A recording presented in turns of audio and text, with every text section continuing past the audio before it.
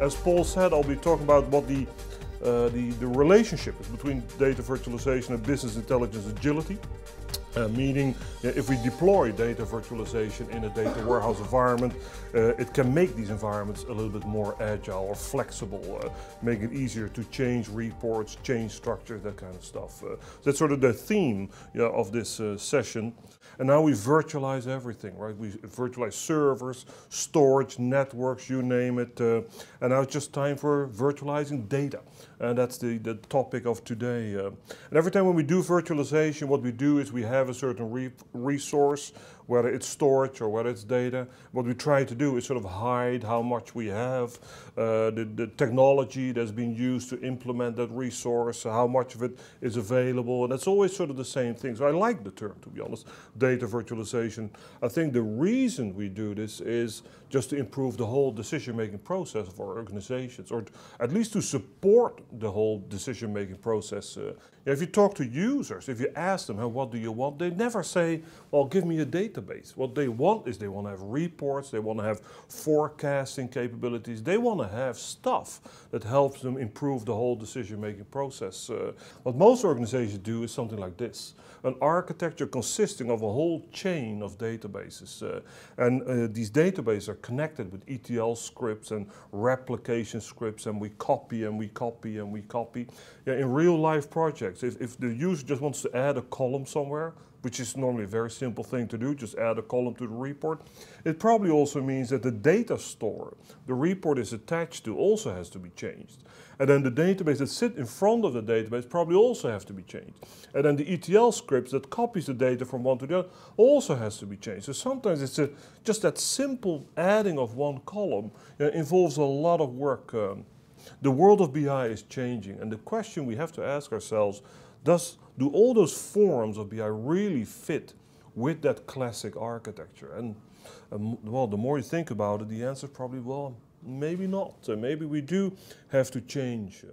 The business people are saying we want to make, make decisions more and more quickly, we want to react more quickly, uh, but what we're seeing is that it's not going the right way. We're taking more and more time yeah, to build systems, to build new reports. Uh, 30% of them indicated that they needed at least three months or more. Users come in and say, we need a new report. And then our question is always, well, uh, when do you want it? And, and their, their answer nowadays is, well, tomorrow.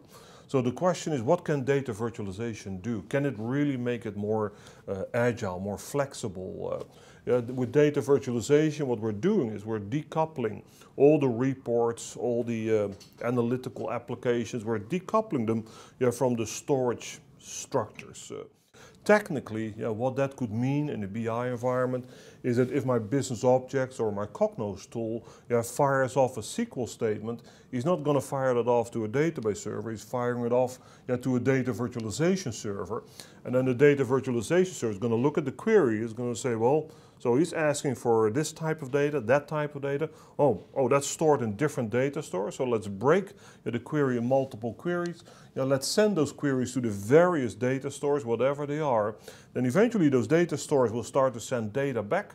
And then the data virtualization server will merge it together and then one result comes out. So to do the report, it looks as if it's just a database server. But you have this sort of decoupling yeah, of the two worlds. Uh, I would say there are sort of three sort of dominant characteristics of this, uh, this sort of architecture. One is decoupling, which I already mentioned. Uh, decoupling means that I'm hiding to the reports where the data is physically stored. But the good thing is, if I'm able to do that, if I'm able to sort of redirect the query yeah, from its own database, its personal data store to a data warehouse, what that means is that I can just throw away that personal data store. Uh, I don't need it anymore. And if I don't have that database, of course, it also means I can get rid of all the ETL stuff that I use every week or every day to fill yeah, that personal data store. The effect, of course, is that you're simplifying your storage structure, and a more simpler storage structure means it's more agile, it's more flexible. Because if I now want to change something in the report, if I have to add a column, it probably involves a couple of changes in the data virtualization layer, and maybe one or two changes in the data warehouse. But that's, that's easy. So the whole architecture becomes simpler. Uh, while if we bring in the data virtualization server in the middle, I can have that specification there just once, uh, and then I, I don't need them anymore in my business objects tools nor in my SAS tools. All the tools will use that one specification. So if I change it, if I suddenly change the definition of northern region, I change it in one spot. That's it. And then it applies to all the tools yeah, that use that specification. Uh, and really, a couple of weeks ago, I did a session on data virtualization for a whole data governance crowd. And, and to be honest, they love this. Like, finally, yeah, we have the tool that we want. So one place where we have all those specifications. When you ask for the data, then it's transformed, it's cleansed, it's integrated, uh, this whole on-demand concept, which of course works very well if users are asking for operational BI. There are reports where they want to see yeah, the current state of the data. Um, Every time when you sort of copy data, it sort of slows down the whole process uh, and it hurts operational BI. So there are a lot of the, the uh, advantages coming from those characteristics. Eh? Shared metadata specification, decoupling, and fresh data. I won't go through all of them. I think we've touched on most of them. Uh, yeah, for example, if I take business objects, uh, if I take the universe concept, I can, I can do data integration there, but every specification that I enter in the universe, I can only use that within business objects. That's it. So it's closed off. Uh, while here, if you talk about the Composite product, for example, that's open data virtualization. I can bring in my specifications and then plug in almost any kind of tool, any kind of programming language, and they will all share those same specifications. So nowadays, if we talk about data virtualization service, we talk about open data virtualization service, not the, the closed ones anymore. Now, what I like probably most of these products is that they allow me to build an environment such as this um, that had the, build, the, the basic, or the primary building block of a data virtualization server is a virtual table or a view or a logical data object, depending on the product that you use. Uh, and what I like about it is that I can stack them, I can nest them. I can do things such as, uh, let's first build a number of virtual tables that will just give me access to all the sources. And then in those definitions of those virtual tables, I'll bring in things like uh, simple cleansing, uh, transformation of data, integration of data. Uh, for example, I have customer data in data store 1 and I have customer data in data store 4. I want to bring that together. Uh, and then on level 2, I'm going to bring in, well, let's call it the canonical model. So I'll have a very clean virtual table with a very clean structure showing all the customer data that I have. And then on top of that, I'm going to define virtual tables that are going to show the data in a form that fits the reports that these guys are building. It's all virtual. And that is really what I like. The fact that I can nest all these virtual tables and I can bring in you know, specifications at different levels. So specifications that are um, that apply to almost every user. I'll put them on the more lower level.